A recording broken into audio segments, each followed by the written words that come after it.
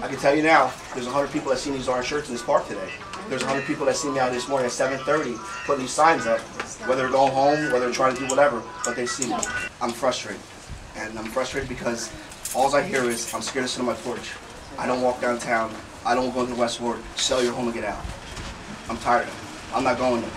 If you can't sit on your porch and walk down the street, you're a victim in your own neighborhood. Whether you think or not. If you can't come to this park right here and have fun, not think someone's gonna ride by, you're a victim. I'm just here to say, as neighbors, we gotta do more. And doing more is just paying attention. Paying attention to who's next to you, because you never know. It's about watching. It's about identifying. It's about speaking up for what you see. I can't let someone commit a crime in front of me and not get involved. And I'm not saying I'm going to jump and take a bullet. I'm just saying when things are wrong, just throwing a piece of paper in my neighborhood gets me fuel. When we start to fund the mon, the West Ward Neighborhood Partnership in the fall, the administration, I've already told all the directors, not getting any money. All the CDBG funds that we control are gonna go to the West Ward Neighborhood Partnership, of whatever it's gonna be called then, okay? And that money, you gotta be there.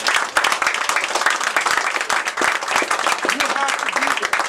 Because as I said, we've thrown millions of dollars, we've thrown police at the problem, we've thrown a lot of things at the problem, grants. It really needs to be from the bottom up.